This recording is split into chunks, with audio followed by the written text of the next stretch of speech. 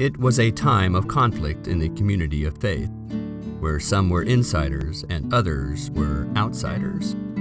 It was a time of division in community leadership, where political and religious authorities were mistrusted and discredited. It was a time when most common people were without power, a time when cultures clashed. And yet, it was a prosperous place, a Greek speaking urban area with a large Jewish population. It is in this time and from this place that Matthew paints a portrait of the life and ministry of Jesus. Here we see Jesus facing division, ministering in the margins, demonstrating servant leadership, challenging allegiances, and widening the divine embrace more than many dared imagine. Here, in the pages of Matthew, we encounter the Messiah.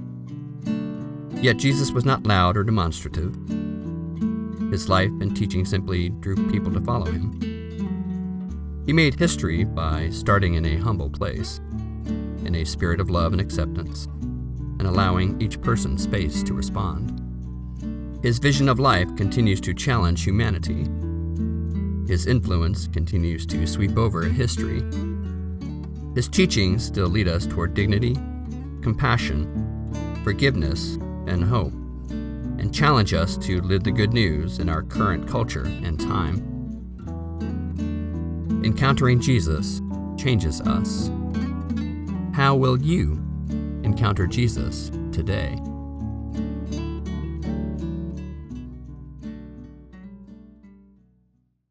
Hey, this is Donnie Berry for those of you who don't know. For those of you who do know, uh, we sent Donnie and his wife Rebecca out with Training Leaders International uh, a little over a year ago uh, as one of our missionaries that we sent from Christian Fellowship. So we're super happy to have them back. Uh, so let's welcome Donnie.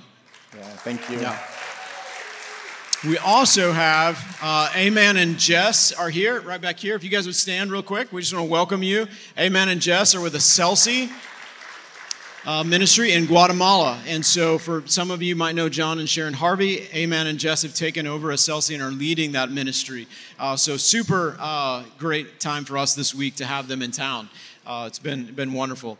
So uh, so hey, so if you've read any of Donnie's newsletters about where he's traveled and where he's been, uh, he's talked about the fruit that people give to him, and avocados are a big deal. And so this is just a humble gift, Donnie, uh, to you. It's a small Missouri avocado, uh, nothing like the Brazilian ones that are 10 times bigger. Uh, but we just wanted to, to, bless you and say we hope you're fruitful in ministry and all that good stuff. Thank yeah, you. So, okay. It's great. a special one, even if it is a pitiful little small thing. Oh, that's that's so rude, pitiful. All right, let's let's pray. Uh, stretch your hands out. We're gonna pray over Donnie before he comes. Father, thanks for Donnie. Thank you for our friendship. Uh, a friendship in, in life, friendship in the gospel, and in ministry. And uh, Father, we pray that he would be uh, blessed this morning as he speaks, that our hearts would be blessed as we receive from him that which he is bringing from you to impart to us. In Jesus' name, amen. Amen. Amen. amen. It is so good to be with you. Uh, our family has enjoyed the last few days just being back. It's like coming home. And we are so grateful to be here. Of all the places I get to teach, this is my favorite to, to come back to, to preach and teach my family, uh, the people that we know love us. So it's wonderful to be here. I want to show a picture quickly um, of a class in August. I was teaching a group of pastors in Liberia. Uh, teaching them a class on the big story of the Bible, understanding how all the scripture is one story pointing to Jesus. If you've been around for very long, um, you know that's my favorite thing to teach on. And um, at the end of that class, these, uh, these brothers um, after the final exam, they all stayed around, and I'm like, "We're done. The, with, when you're done with the final, you can go." No, we're going to stay just a little while, and they waited for everybody to finish, um, and then uh, they all stood up and they said, "We just want to thank you for coming." for what you have given us. It is, it is such a gift. It's a treasure, the, the knowledge of Christ you've brought. And they said, We're not just thanking you, though. We know your family is sacrificing so you can be here. Thank them for us. And we know there are many people that have sent you here, made it possible for you to come.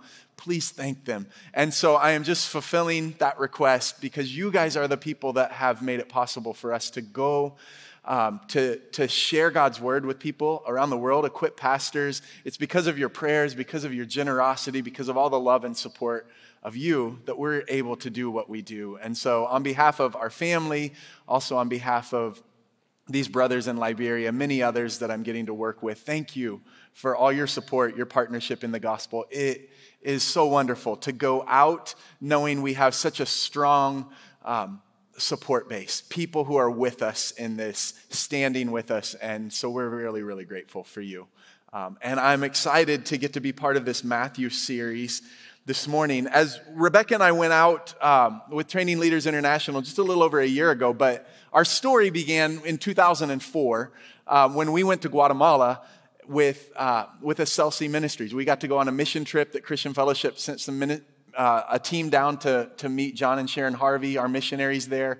And so I'm really thankful, not just to be part of the sermon series here, but to be here on a weekend when Amen and Jess are here, um, who are now leading that ministry that has such a special part in our lives because it was on that trip John Harvey took me out into the mountains where he was teaching and training pastors because he knew I was interested in teaching the Bible. He said, You should come see what we're doing.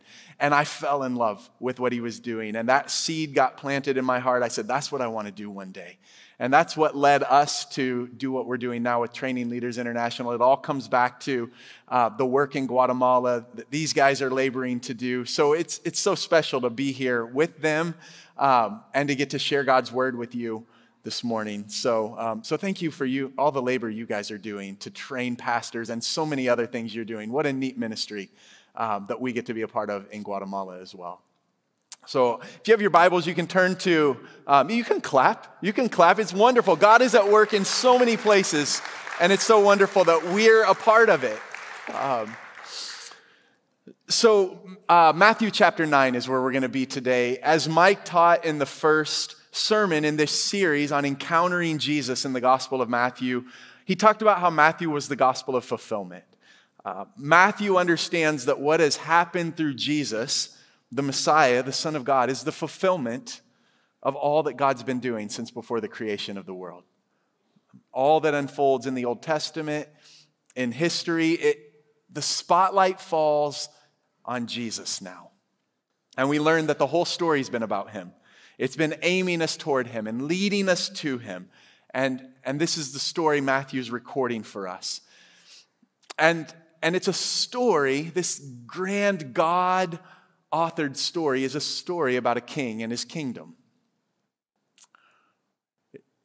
It's beyond all the very best fairy tale kings and fairy tale kingdoms because this is the real one, the true one, the one we were made for, that our hearts long for. So, 44 times, Matthew refers to uh, the kingdom of heaven or the kingdom of God or the gospel of the kingdom. It's a major theme in this gospel. The king that we long for, the kingdom that we were made for. That's the story that Matthew's picking up. It's a story about uh, a king who created the world as his kingdom put his image bearers in charge of it to rule and represent him, bringing his life, his good rule and reign, his blessing into all of creation. But it's also a story about rebellion in the kingdom and how um, his kingship was rejected, leading to death and brokenness and pain in creation.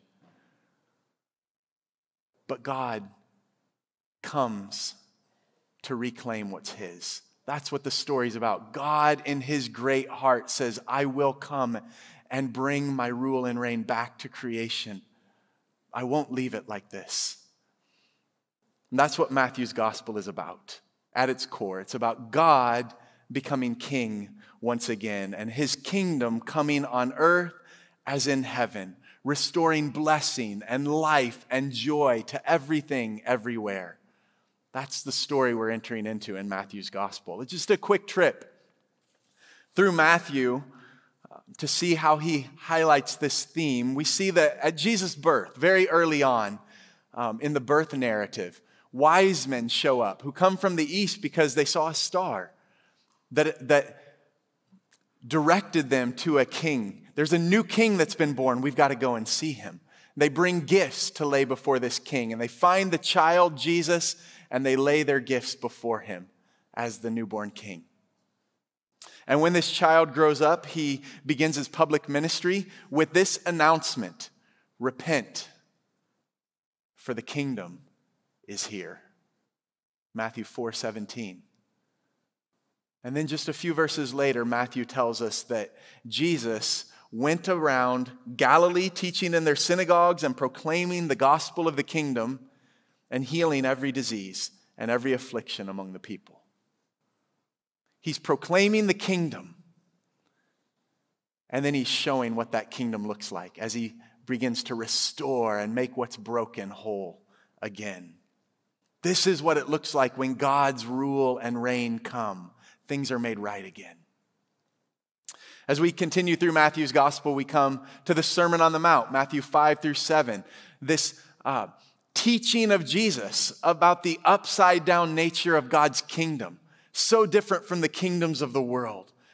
And in the Sermon on the Mount, Jesus teaches his followers to pray God, let your kingdom come, your will be done on earth as in heaven. And then he offers himself as the fulfillment to that prayer as he moves into regions where sin and suffering have come to rule, where death and despair reign, and he brings healing and forgiveness and life. These are the incredible stories of Matthew 8 and 9, where Jesus begins to bring his kingdom on earth to show this is what it looks like when God takes charge again. The broken is restored, things are made right again, joy breaks out. Many of Jesus' parables, as we come to Matthew 13, begin like this The kingdom of heaven is like, and then he'll talk about a farmer sowing seed in a field, or leaven being kneaded into a, a dough of some dough of bread, or, or a mustard seed that grows into a tree and spreads out its branches so that the birds of the air can find rest in it. He says, This is what the kingdom of heaven's like.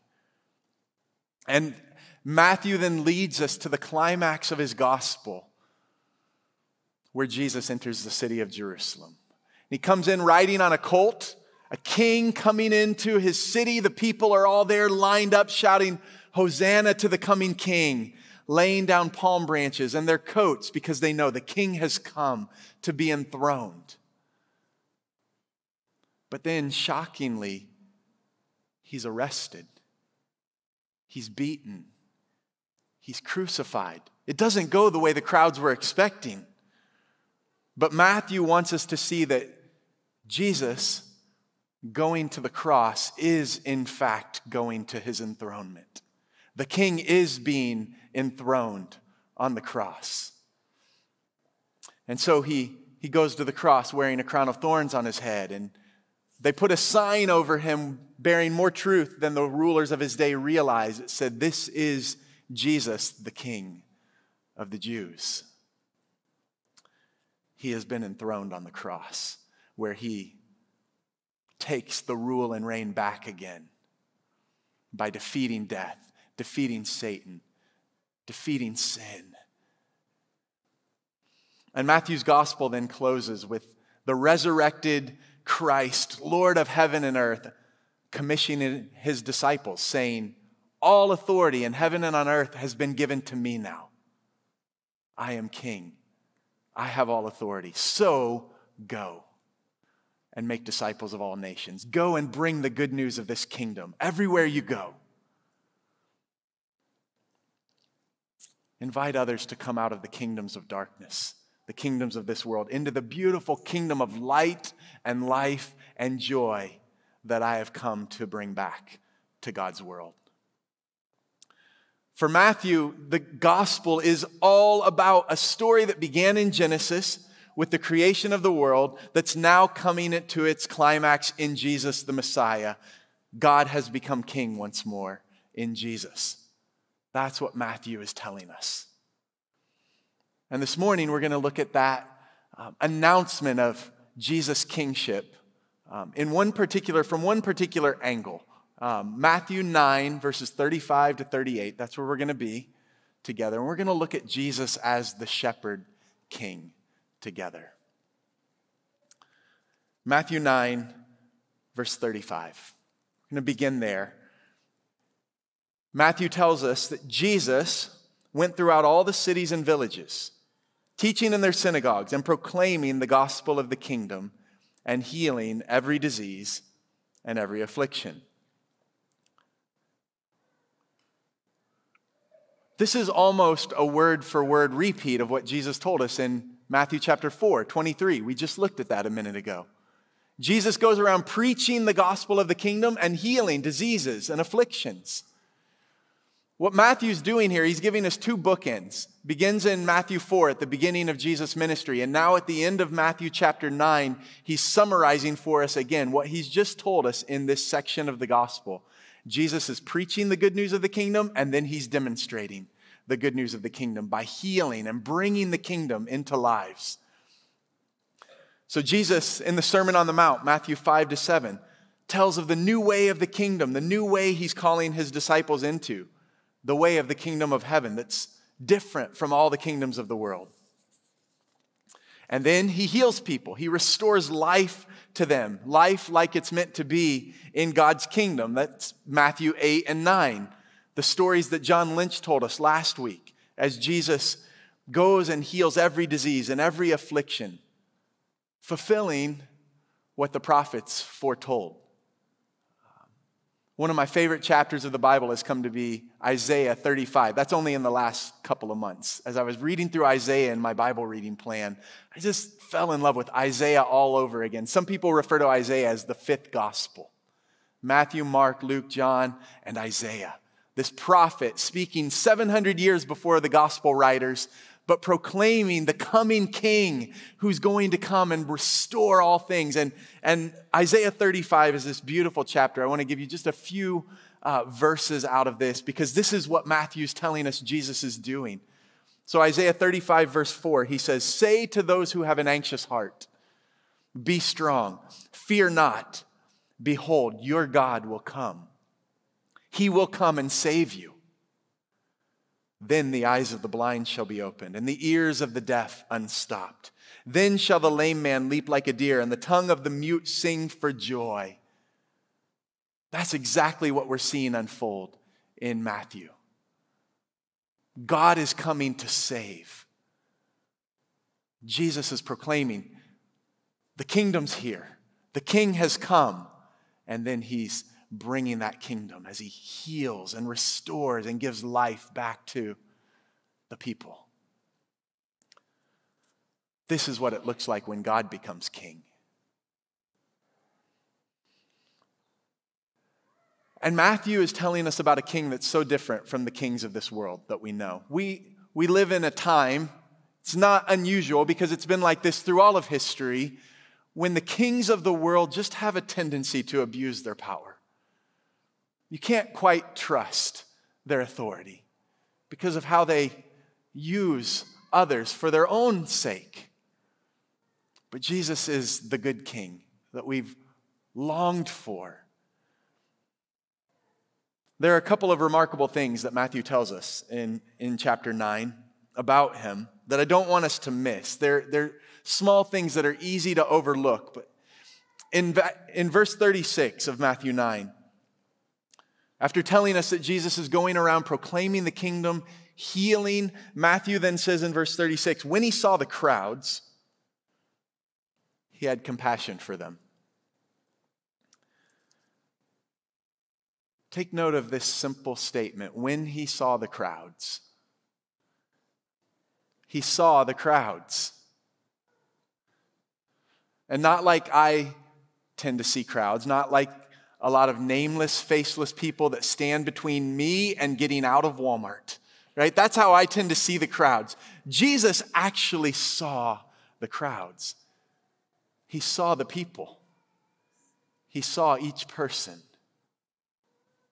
That's what Matthew wants us to know here. He's highlighted this throughout Matthew 8 and 9.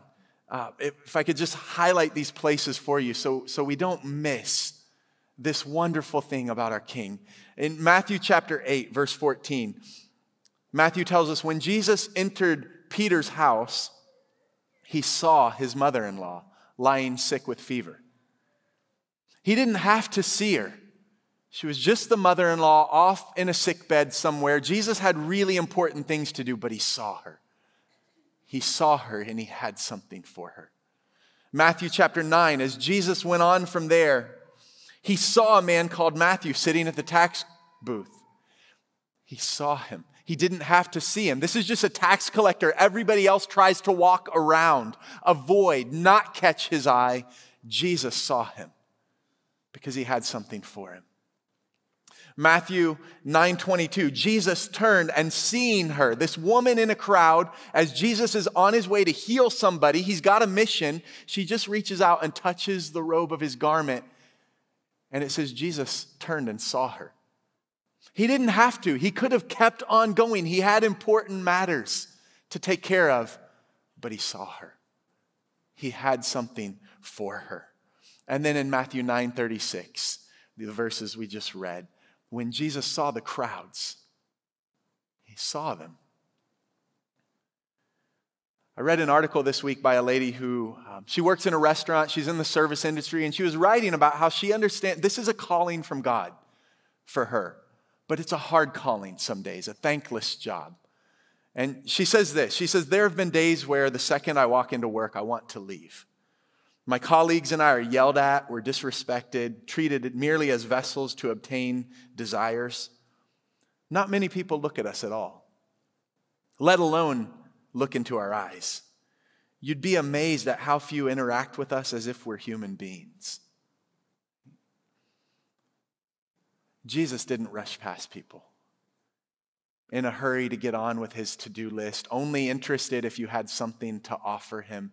He saw the crowds. He saw each one. He sees you.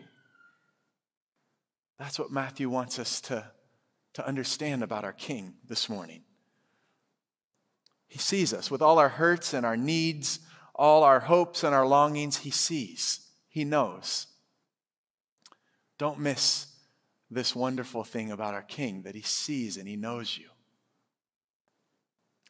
He saw the crowds, Matthew says, and he had compassion for them. That's remarkable thing number two. He had compassion on the crowds. In any crowd of people, even if it's just a crowd of one made up of you or made up of me, you're going to find a lot of messiness, quirks, anxieties, hopes, fears, dreams, disappointments, shame, weaknesses, and struggles. It's all part of it. When Jesus sees this crowd, he, he sees all of it. When he sees us, he sees all of it. And Matthew tells us his deepest gut level response, which is what the word compassion in Greek means. It refers to in his bowels what he felt. It's an ancient way of talking about what comes from the deepest parts of someone. Jesus, at his heart, feels compassion for us, for you. You're not just lost to him, not just a face in the crowd. He sees you. And where you feel most ashamed, where you feel most like hiding, most unsure of what you would find were you to look into his eyes and see him looking back at you. What, what kind of expression would, would he have on his face? Well, Matthew gives us a pretty good idea compassion, tenderness. He feels deeply what you feel, and he cares for you. The last couple of times I've gotten to be with you, gotten to preach, um, I, I always include a quote from, from this wonderful little book that has been an encouragement to me called Gentle and Lowly by Dane Ortlund. And um, so I've got a quote for you again this morning. Uh, I'm going to keep sharing them until everybody's gotten the book and read it, okay?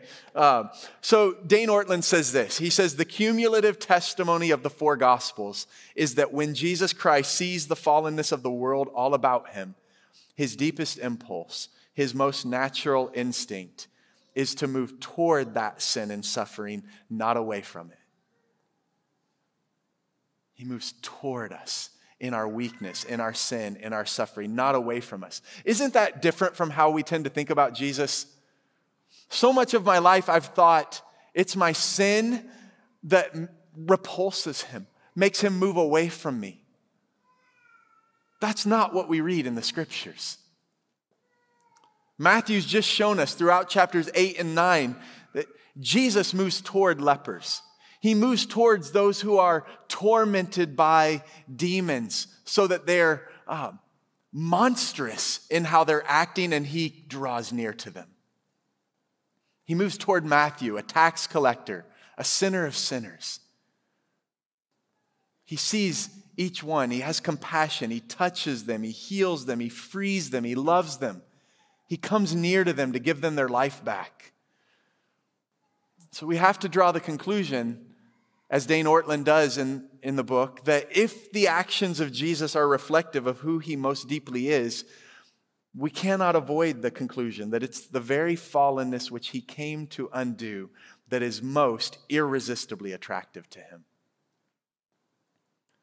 That's incredible. That's scandalous. That Jesus is actually irresistibly drawn to us in our weakness. In the things that we most want to cover up and hide, that we're most ashamed of, he most wants to enter in there and say, Let me in there. I'm not ashamed of you. Let me meet you there. I am drawn to you. You are irresistibly attractive to me in the place that you think is most unattractive to me. Let me meet you there. That's incredible. He had compassion for them, Matthew tells us, because they were harassed and helpless like sheep without a shepherd. Harassed and helpless. Two words that I think capture our condition so well. Um, harassed and helpless like sheep without a shepherd. Like sheep who need a shepherd. So think with me just about this harassed and helplessness that we all experience for a minute. There's all the physical weaknesses and torments and sicknesses and disease and afflictions that we, we carry with us. Harassed and helpless. Jesus saw the crowds, he saw it all. There's our addictions and our struggles with sin and all the resulting shame and the feelings of defeat we feel. He sees. We're harassed, we're helpless. There are the fears and the anxieties that grab hold of our lives and choke the breath out of us. He sees it, He knows. We have wounds and pain that we carry from past hurts things that have been done to us, things we've done to others that we don't know how to heal from, we don't know how to fix what's broken. We just know we carry it with us. There's strained relationships and longings for love and loneliness and sadness and disappointments from the failures of love in our lives. And then just the day to day stuff that comes at us that, that you're just going about your day and you get knocked down. And then you get back up again and you get knocked down again. And you think, could I get back up one more time? And you get knocked right back down. And it's all the things that come at us harassed and helpless. Can you find yourself in the crowd? Do you see yourself among these sheep? Helpless and harassed, needing a shepherd. When I was in college, I was really impacted by a man named Rich Mullins. Uh, Rich was a Christian singer, a songwriter. He's, he's probably most well known for his song, Our God is an Awesome God, which is a great song. It's one of my least favorites of his. Uh, he has so many others that are so wonderful, uh, but that's the one that, that made him most famous, I think. Uh, Rich was killed in a car accident, 1997. Um, he was only in his 40s, and, uh, and I didn't discover his music until shortly after he had been killed. I, I came to college right after that, got introduced to his music, and then, um, and then began to hear teachings of his. And at concerts, he would, in between songs, just speak about the love of God in a way that made you think maybe it could be true. So he impacted my life in a really important way. Um, this is the 25th anniversary of Rich's death. And when I was in Brazil just a few weeks ago, my family, they had a, a tribute concert for Rich, and uh, it was live streamed, and so my family bought tickets to it, and they watched the live stream of the concert, which made me really happy for my kids to get to hear about Rich and, and hear his music. But it also made me a little jealous that I couldn't be there with them. Um, but it was Rich's honesty about his messiness, the messiness of his life. He had issues, paired with his trust that God was compassionate and kind, that God actually loved him deeply, that gave me hope. As a college student with my own struggles and wrestlings, it gave me hope. Maybe that could be true for me too. And Rich's band was called uh, the Ragamuffin Band, Rich Mullins and the Ragamuffin Band. Um, they took their name from a book by a guy named Brennan Manning. Some of you may have heard of Brennan Manning, who wrote a book called The Ragamuffin Gospel. Rich had gotten a hold of Brennan Manning's teachings, listened to some tapes, had read the book about this ragamuffin gospel, this gospel that's for ragamuffins, for messy, broken people. That's who the gospel's for. And it flipped Rich's life upside down.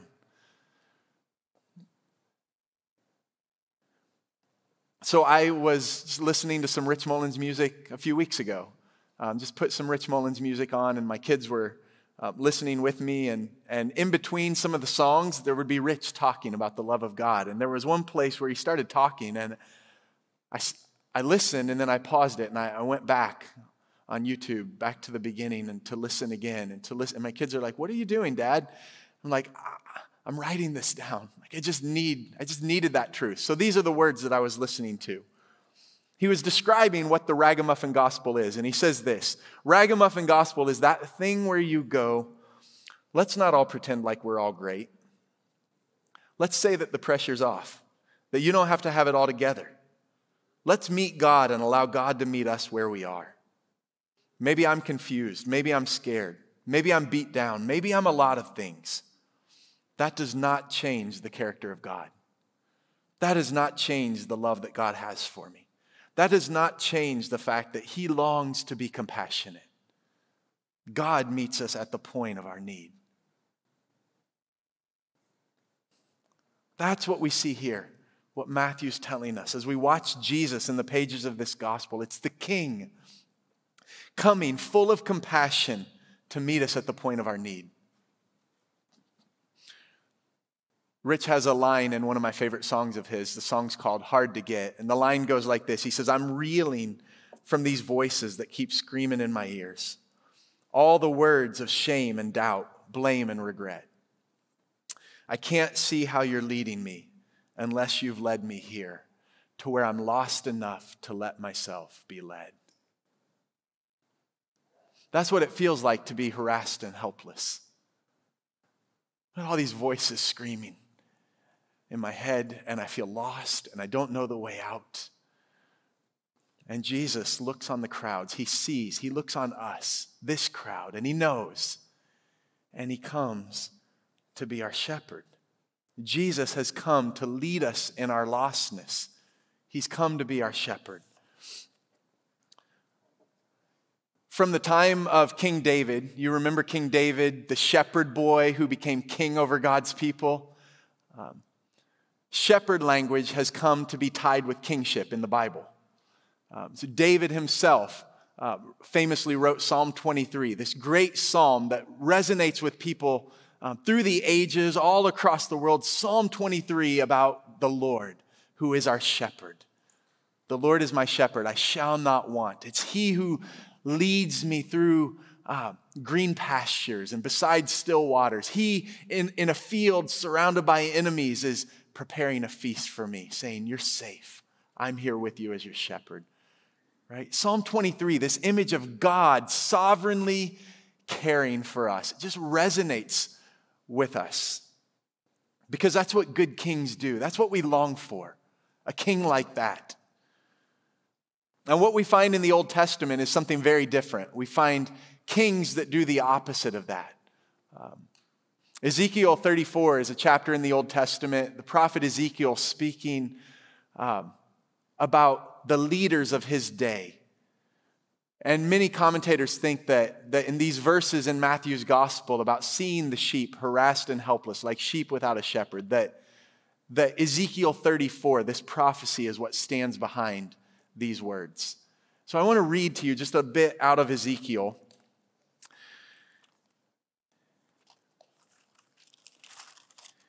Ezekiel tells us this The word of the Lord came to me.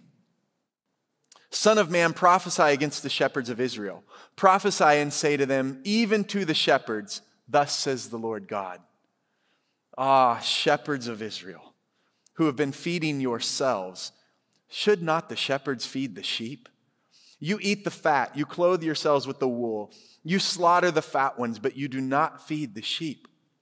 The weak you have not strengthened, the sick you have not healed, the injured you have not bound up, the strayed you have not brought back, the lost ones you have not sought, and with force and harshness you have ruled them. So they were scattered because there was no shepherd, and they became food for all the wild beasts. My sheep were scattered. They wandered over all the mountains and on every high hill. My sheep were scattered over all the face of the earth with none to search or seek for them. But then God says, Here's what I'm going to do. Verse 11 of Ezekiel 34. Thus says the Lord God Behold, I myself, I myself will search for my sheep I will seek them out as a shepherd seeks out his flock when he's among his sheep that have been scattered. So I will seek out my sheep and I will rescue them from all the places where they've been scattered. I will seek the lost. I'll bring back the strayed. I'll bind up the injured. And I will strengthen the weak. This is what the Lord says he will do for his lost sheep. And then he tells us how he will do this. In verse 22, he says, I will rescue my flock. They shall no longer be a prey, and I will judge between sheep and sheep, and I will set up over them one shepherd, my servant David. That's Jesus, the son of David, Matthew tells us in the opening of his gospel. Jesus the Christ, the son of David. I will set up my servant David, and he shall feed them. He will be their shepherd, and I, the Lord, will be their God, and my servant David shall be prince among them. I am the Lord, I have spoken.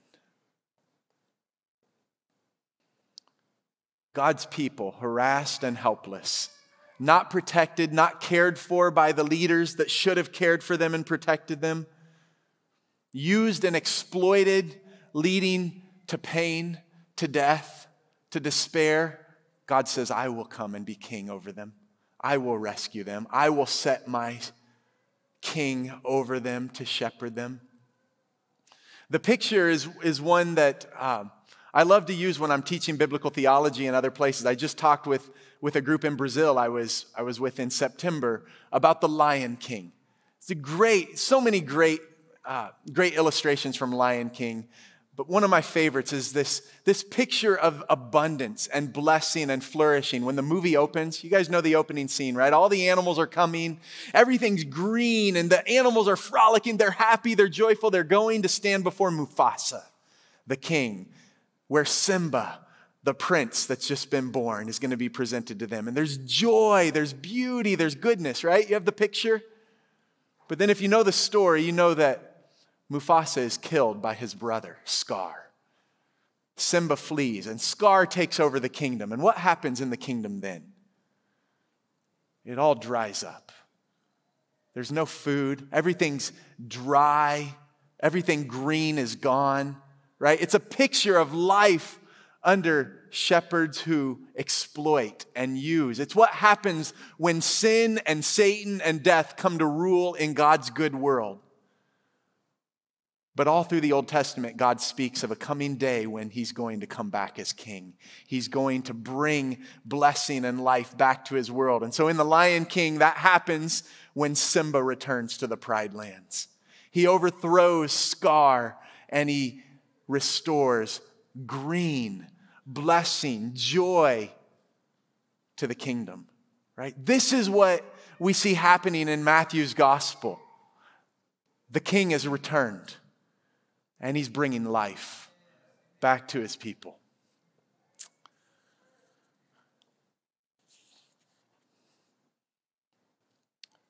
So, Matthew tells us in Matthew chapter 2 when the wise men come and they say, Where's the king? Where's the king that's been born? And, and they look back in the prophecies of the Old Testament and they say, Well, well, check in Bethlehem. Because there's this prophecy from Micah that says, You, O Bethlehem, you are by no means least among the rulers of Judah, for from you shall come a ruler who will shepherd my people Israel. That's what we're seeing unfold in Matthew's gospel. Jesus has come to be king, he's come to shepherd God's people, and he's redefining what kingship looks like. He's the good shepherd who lays down his life for the sheep.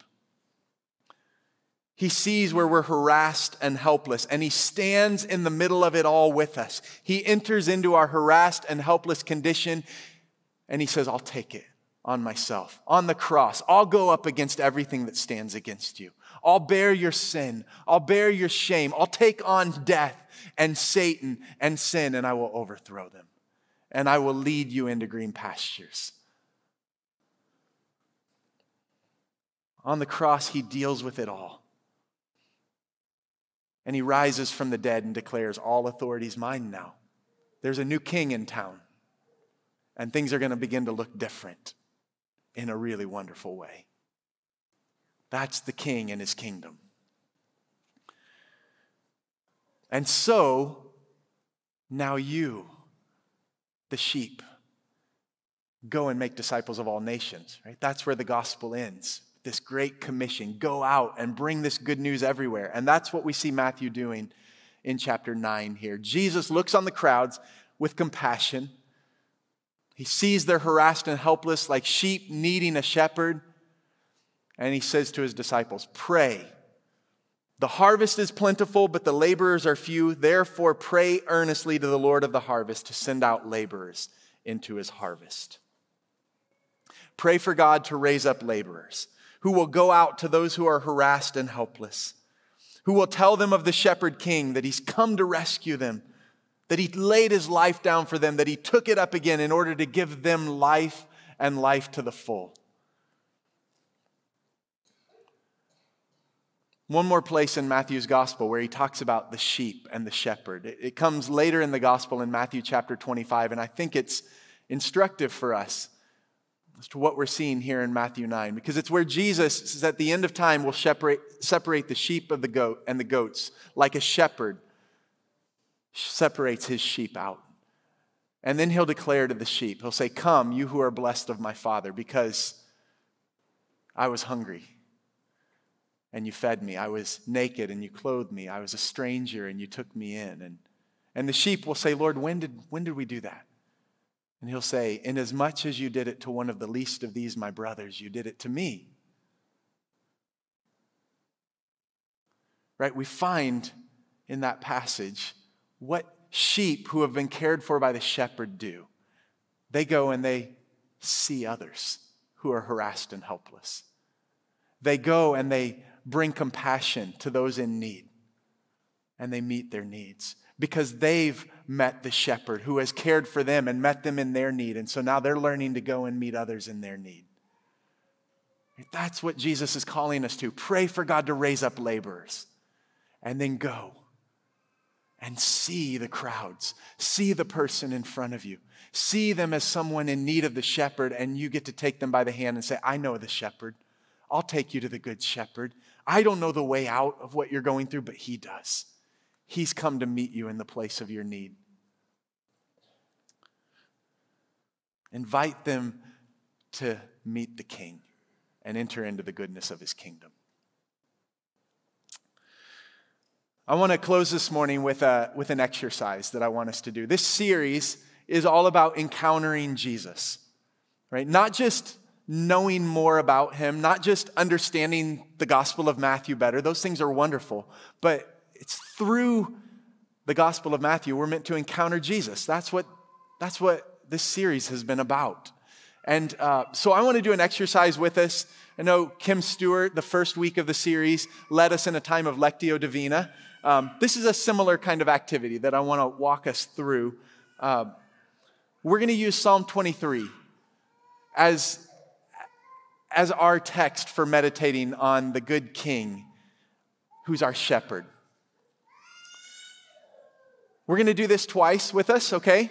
We're going to, um, once for ourselves and once for others that we know that are in need. So, if you would,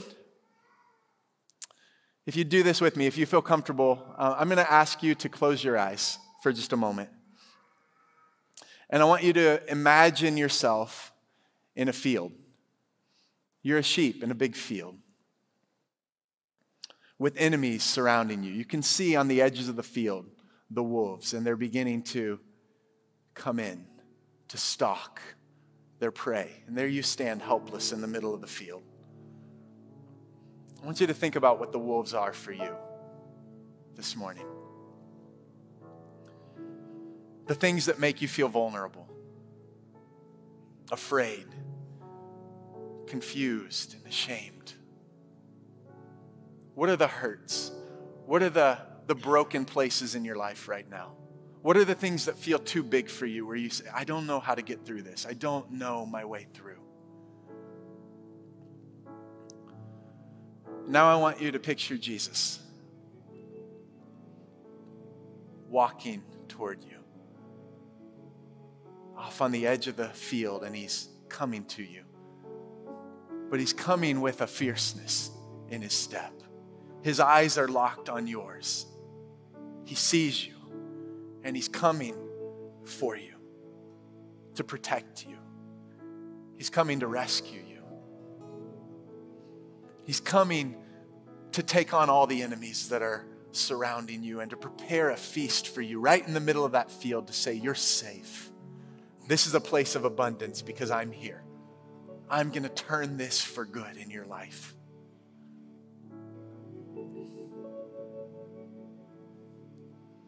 Now I want you to just hear these words, these promises for all who trust in Him. I want you to receive them as your reality this morning. Receive them into those places of your life where you are harassed and helpless. Hear these words from the King. The Lord is my shepherd. I shall not want. He makes me lie down in green pastures. He leads me beside still waters. He restores my soul. He leads me in paths of righteousness for his name's sake. Even though I walk through the valley of the shadow of death, I will fear no evil, for you are with me. You prepare a table before me in the presence of my enemies. You anoint my head with oil. My cup overflows. Surely goodness and mercy shall follow me all the days of my life, and I shall dwell in the house of the Lord forever. These are the words of the shepherd king to you today. In all those places of your life where you feel harassed and helpless, these are his words to you. This is his promise to you. He stands with you in the middle of it. You can trust him. You can go back to these words from Psalm 23 and hold on to them as your truth. He's with you and he's seeing you through. Because this passage from Matthew 9, though, turns from his care for us to him then sending us out to care for others. I want to, to go through Psalm 23 once more, but I want to do that for someone else in your life this morning. I want you to think about someone that you know. Maybe it's a family member, a friend, a coworker, someone you know, someone you care about that you know. They're, they're in a hard place. They're going through some things where they feel lost, where they feel discouraged, where uh, whatever it may be in their life, it, it's too big for them. They need a shepherd. And I just want us to, to speak these words to them on their behalf by faith as a declaration that they have a shepherd who cares for them, that he knows the way through, He's the one that can meet them and lead them into the beauty that He is preparing for them. And so hold that person in your heart as we speak these words together from Psalm 23 again. I'll speak them over us, and you hold that person in your heart and, and make this your prayer for them and your words speaking to them as a declaration over them. The Lord is your shepherd. You shall not want. He makes you lie down in green pastures. He leads you beside still waters. He restores your soul. He leads you in paths of righteousness for his name's sake. And even though you're walking through the valley of the shadow of death, fear no evil, for he's with you. His rod and his staff, they comfort you. He is preparing a table before you in the presence of your enemies. He anoints your head with oil. Your cup will overflow. Surely goodness and mercy will follow you all the days of your life, and you will dwell in the house of the Lord forever. You have a shepherd king who loves you, who sees you, who has compassion on you. He is your shepherd. You shall not want. This is the gospel of the kingdom. This is the gospel of our shepherd king. Amen and amen.